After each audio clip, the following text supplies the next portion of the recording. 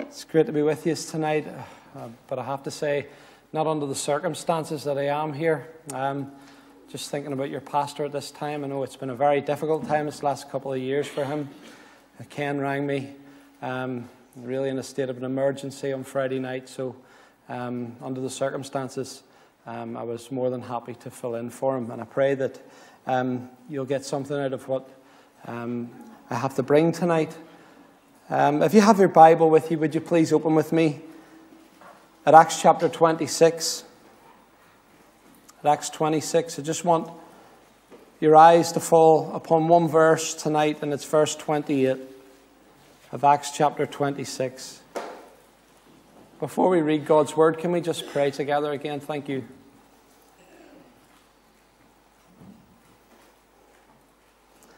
Father, thank you that we serve the true and the living God. And Lord, especially when we see what's happened over this weekend on our television sets and the tragedy that took place there in Paris. Men pledging allegiance to a God that cannot save and cannot hear. We thank you that you're the Prince of Peace. And we thank you that you're the God who hears and answers prayer tonight. And so we would come and lift up our voices to you. And we pray that the words of our mouth and the meditations of our heart would be acceptable in your sight, O Lord, our strength and our Redeemer. Father, we've offered our praise to you. And now we come to you in prayer, asking you that you would bless your own inspired word and Holy Spirit, we know that nothing can be accomplished apart from you. And so we ask you that you would still every heart. And if there's a man or a woman or a young person in this house tonight that still is outside the safety of Jesus Christ, that, Lord, you would do that wonderful work of salvation in their hearts and in their lives. May we leave here at the end of this night saying, It was good for us to be here, for it was here that we met with the Lord. Father, would you remember your servant at this time? Thank you for his faithfulness week after week in proclaiming the gospel. Thank you that he's here in season and out of season. Lord, he's been through a difficult time, but you know all about that. And I pray, would you be with him? Would you be with the family at this particular time, this difficult time? So our thoughts just go to him right now. Would you bless him, Father? We pray in Jesus' name. Amen. Amen context of this chapter is too lengthy to read the whole lot of it, but um, the Apostle Paul finds himself imprisoned because of the testimony um, of Jesus Christ. He's at a place called Caesarea Philippi, and he's standing trial before a king called Herod Agrippa. And Paul, here, of course, standing before Herod in chains, tells his testimony about how the Lord Jesus had arrested him on the road to Damascus and about the change that had came about since then. And, and, and we're told these words that he lays it on the line with Agrippa and asks Agrippa, Do you believe the law and the prophets? And listen to what Agrippa says in the light of all the things that Paul had to say to him in verse 28. He says, Then Agrippa said unto Paul, Almost you persuaded me to be a Christian. Friends, these words spoken by this King Herod Agrippa, I feel are amongst the most tragic in all of the scriptures. Why? Because they suggest that this man was on the threshold of entering into that state of eternal life. He was so close to possessing the greatest gift a man, a woman, or a young person can ever possess only when to be standing right on the threshold of heaven, he takes a step back.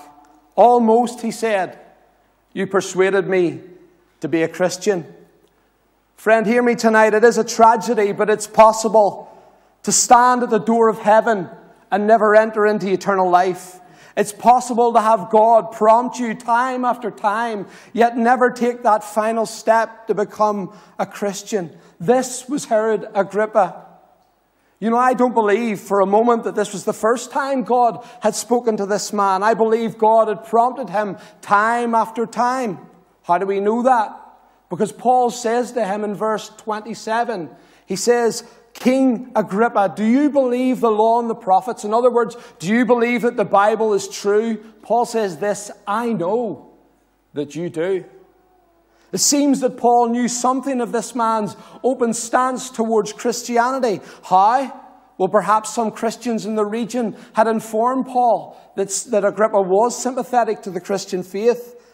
Perhaps at that moment, God showed Paul supernaturally that Agrippa's heart was open. Or perhaps, as the apostle gives his masterful address, the conviction was showing on the face of the king. Perhaps he was even sweating as Paul was speaking. I don't know really how, but Paul knew Agrippa was not far from the kingdom. He was ripe for salvation, and yet what a tragedy. Even though God was speaking to this man, and he wasn't far away, he refused to take that final step. He says, verse 28, Oh, good sermon, Paul, but you almost persuaded me.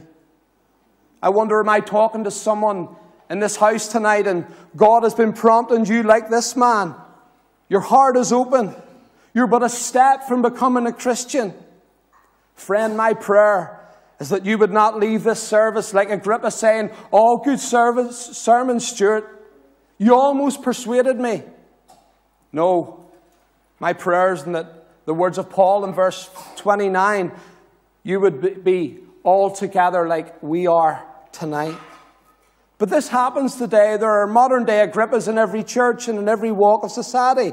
Those who almost make it but never take that final step. Who are there amongst us that are always almost Christians? Well, here's the first category of people that I have found are always almost Christians sometimes. It's the children, teenage children of Christian parents how often are these always almost Christians? It's alarming how many of our children are so close and so familiar with the things of God and yet never make that full commitment. They come to church week after week, and if they're like my children, they come to church kicking and screaming under duress. They hear the sermons until they're coming out their ears. They could pray the prayers for us they know the songs. They may even join in. They enter into the Christmas plays at, different, at different times of the year. They take the bread and wine as well sometimes, and we can almost take it for granted that they're Christians, but in many instances they're not. Why? Because they haven't yet made that decision to accept the Lord Jesus as their own and personal Savior. And I want to address Christian teenagers tonight, or so called Christian teenagers. I want to tell you that I love you and that I care for you, but because I do, I'm going to tell you the truth, young man and young woman. I want you to know that although you're loved, that almost being persuaded is not enough. Coming through the doors of the church week on week won't save you. Listening to the sermons, singing the songs, acting in the Christmas plays, taking the bread and the wine, even if you do it by default, it won't save you. You must take that final step through the door of heaven to take Christ as your own and personal Savior. One man told me this one time, and there was never a truer statement said. He said, Stuart, never forget, God does not have grandchildren. And what this man was saying is that for Christian children, the children of Christian parents coming to church, you can't go to heaven on your mom and dad's ticket. You need to have your own personal experience. Verse 29, you almost and altogether need Christ as your Savior, or else this is the worst thing. Where your mom and dad are going, you may not be able to come. Then there's a second group of people, not just the children of Christian parents, the second group who are always almost Christians are the regular church attender. How often are these always almost Christians? And I've seen millions of these. And so have you, regular sermon tasters. They breeze in and out when they please, usually out of a sense of bogus fear. They enjoy the singing. Enjoy the sermons. Sometimes they can be moved to tears as they mingle in the holy atmosphere. They come to the church events and they enjoy them also, but their emotions never bring them to the place of repentance. I wonder, am I talking to someone like this tonight? You come here and you take pride at being at the services. Friend, hear me, I love you tonight. Because I love you, I'm also going to tell you the truth. Going to church does not make you a Christian. As one man says, like going to McDonald's doesn't make you a hamburger. you come through the doors. You're almost there. You're in the premises. But can I ask you this? Are you standing on the promises of God? You can have all the fun with us as Christians. You can enjoy good times and we will welcome you. But if you're not going to accept Christ, then you're going to attend, you're going to fellowship, you're going to laugh, and you may even cry yourself to a lost eternity. Externals and emotions are not enough. You must altogether be as we are tonight. Then there's a third group, and I call them the religious church goer. These again are different from the regular church attender who knows that they're sinners but just won't commit. The religious, however, feel that their own good works will merit them favour with God. These are ten a penny. Catholics and other mainstream churches, even some non church goers, come under this banner. Someone says, I've been confirmed. I'm on the church roll. I was sprinkled as an infant. I've given to the church. Oh, I fed the poor. Listen to this one. I'm a good person. Hello. Hear me, my religious friend. It doesn't matter whether you've been confirmed, baptized as an infant. It doesn't matter that you've given to the poor or the church. It doesn't matter that you're a good person or even that your name is on the roll. Do you know what I've wrote here? Your name might as well be on a sausage roll. Because if Christ is not dwelling in your heart by faith, you're always going to be almost a Christian. Religion can't save you. Good works or your own righteousness can't save you. They all fall short of the glory of God. Can I hear an amen tonight? Paul says in Ephesians 2 8 and 9, For by grace are you saved through faith, and that not of yourselves. It is the gift of God, not of works, lest any man should boast. My religious friend tonight, if you're to take that final step, you need to trust not on your own merits, but on the merits of Christ's sacrifice for you, for this is the only thing that God accepts. Religion will always keep you almost a Christian. But then there's another category of people. Listen to this one.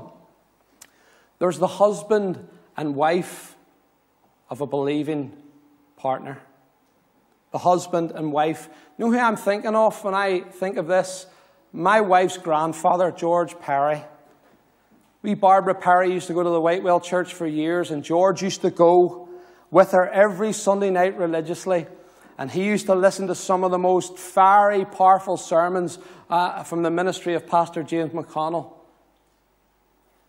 And you know, he used to go out after the service and stand at the, at the fountain and then he would have went from the fountain after shaking hands with people and went to the door and shook hands with people. And a wee man came up to me one night and says, Is he a Christian?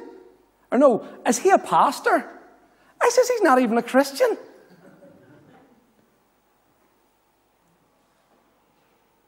And he's almost there. I went to visit him the other week. He's almost there. But as he has continued to harden his heart, the voice of God grows dim.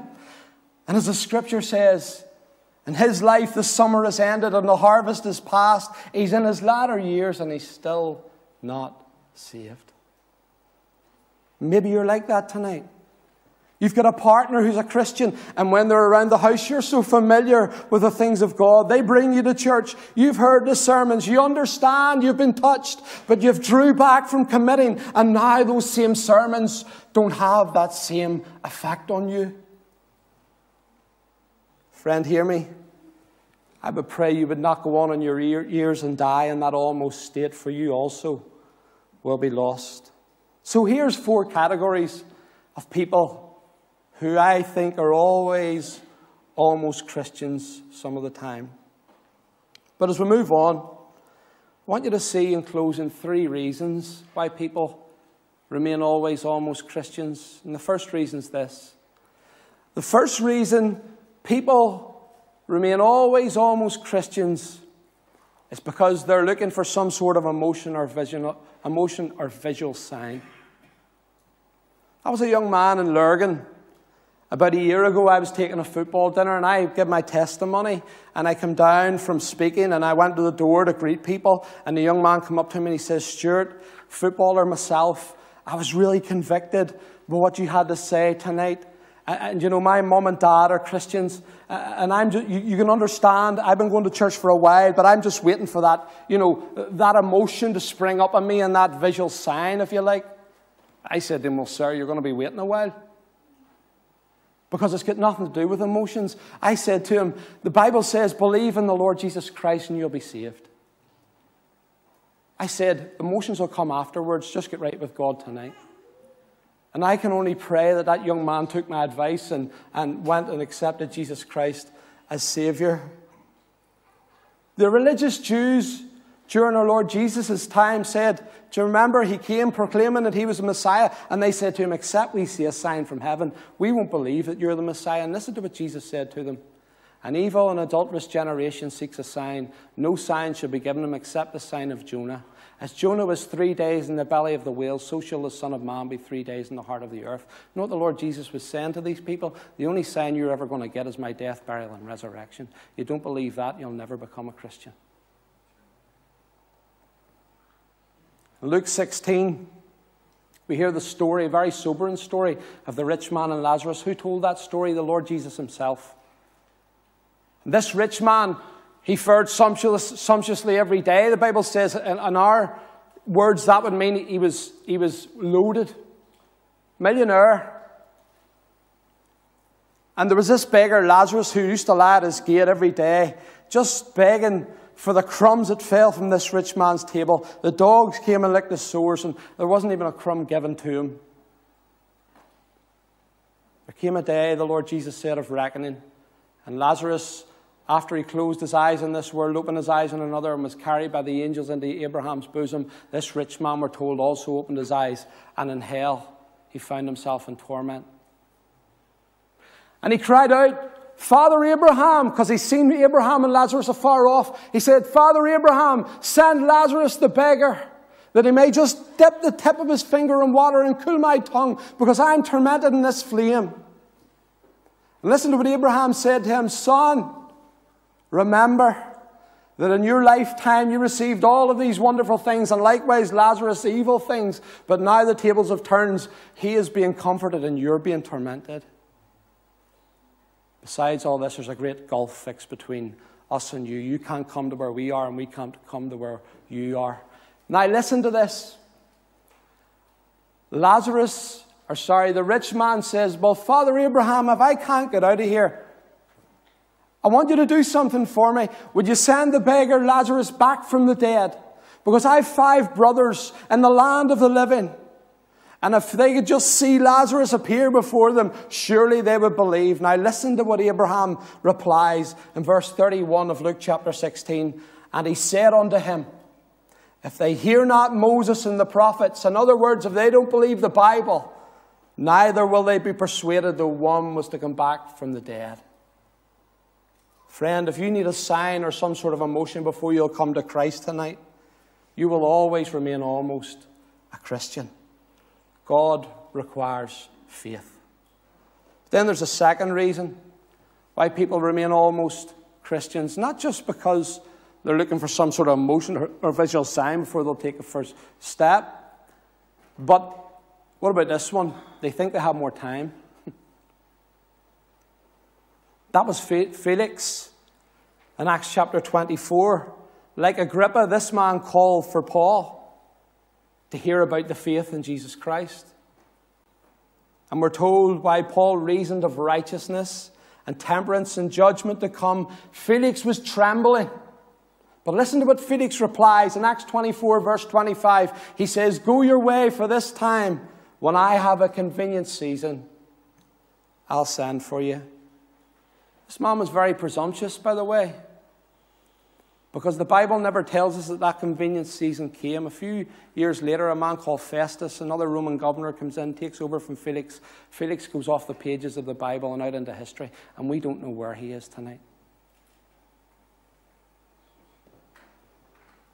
This is the biggest gamble of all being almost there, but putting it off to another time. Friend, tell, I want to tell you tonight, you might not have that time, for this might be the last time that God ever speaks to you. And I'm not saying that you might never come to church again, but I've seen people sit in pews and just know that God has passed them by while they're even sitting in their seat. You ever hear the story of the apprentice devils? Pastor McConnell told it a few times. I've stole it from him. Satan, the prince of demons, is wanting to recruit another couple of demons in his school. And there's two apprentices, and he calls them both in one by one. And the first one comes in, and Satan asks him this key question. And he said, What would you tell a man, woman, or a young person in order to keep them from coming to Jesus Christ? And the first apprentice devil says, Master Satan, I would tell them that there's no God. And Satan says, Sorry, you, you don't qualify because there might be who, people who call themselves atheists out there, but what they really are is agnostics. They don't have all the facts because Romans chapter 1 says even the invisible things of God are clearly, are, are clearly manifested in the wonderful creation that we see all around us. And also the very law of God is written on our conscience, Paul says, so that they are without excuse. He says they might seem like atheists, but what they are is agnostics. You don't qualify. Everyone deep down in their innermost recesses knows that there is a God. So off he goes. Calls the second one and what would you tell a man, woman, or a young person in order to keep them from coming to Jesus Christ? And he says, Master Satan, I would tell them that they can come back next week. And he says, You're the one that I'm looking for. They'll buy it every time. And he will whisper that to you, unsaved friend, tonight. Next week. Come back next week. I want to tell you something you might not have next week. Told this story numerous times, but I'll tell it again. I remember standing East Yorkshire, Aldbrough one night, preached the gospel with all of my heart. There was four people responded. I was rejoicing. But again, as I do, I stood at the door and I, and I was saying cheerio to people. And an elderly man came out and he says, young man, that really tugged at my heart tonight. And I said, sir, are you a Christian? He says, no, I'm not. I'm nearly there. I said, sir, please don't put it off. Getting up into the pulpit at Living Hope Church in Hull the week after, my good friend Mary Yurkovich, a member of our church, comes to the pulpit, just stands in front of me, says, Stuart, were you in Aldbrough during the week? I says, I was, Mary. She says, were you talking to an elderly man at the door about his need of a saviour? I says, I was, Mary. She says, his family have sent a message to you to say that he took a massive heart attack on his driveway and was launched out into eternity. He wasn't right with God. The devil whispered that night to him, Come back next week. That man never made it to next week. Do you know what the Bible says? Behold, now is the accepted time. Now is the day of salvation.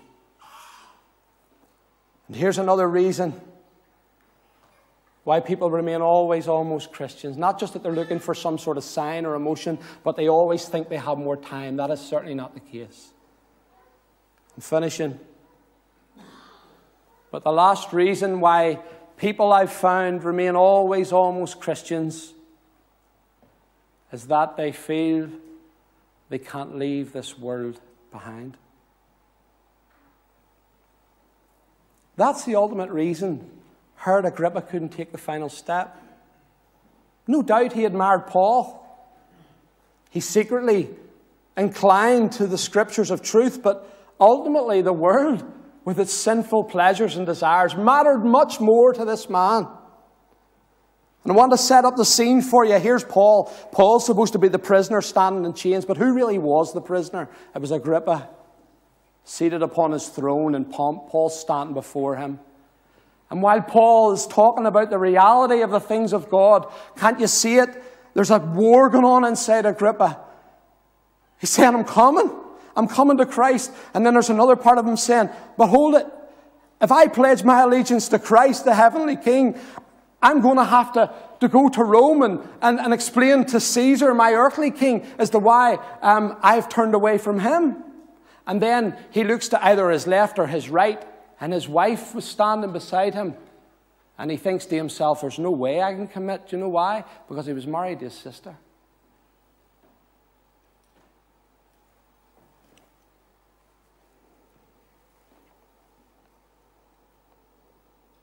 He wants to come, but he thinks about his prestige. He thinks about his position. He thinks about his palace. And the, wor- the pull of the world is just ultimately too strong for him. Can't you hear him? Paul, almost you persuaded me to be a Christian, but I can't give it all up. I wonder, am I talking to Agrippa tonight as I close? You're touched by the gospel. You admire the people of God, but you cannot follow because it would mean you renouncing your allegiance to other things and other people. Friend, hear me. I say this in love. If you can't turn your back on those things, you will always be almost a Christian and you can live for the temporary pleasures of sin. And I can assure you, if you reject Jesus Christ, you will go to a lost eternity. And as Paul poured out his heart to this king that day, urging him to turn, I also plead with you tonight. I urge you in this house who are almost there, not to just almost become a Christian, but right now, not tomorrow, but now, all together, be as many of us are tonight, fully fledged followers of Jesus Christ. I'm done. It's been a hard hitting message, I know, but friend, Eternity is long. And heaven's doors open. Do you know what? Standing on the threshold. Perhaps there's someone here and has been standing on the threshold for a long time. What a tragedy. I've seen this so many times, and it's almost heartbreaking. Men and women coming through the doors of the church and then just being so close, and for one reason or another, they just take that step back and you go, hey, boy. Friend, I pray that there'd be no one in here like that tonight. Just take that step and accept Jesus Christ as Lord and Savior. All of these reasons, let nothing hold you back. I pray that God, the Holy Spirit, would convict you of your sins tonight and that you would surrender your life to Jesus Christ. May God bless every one of you. Thank you for your attention. Thanks. I'm going to hand it back to Gary. Thank you.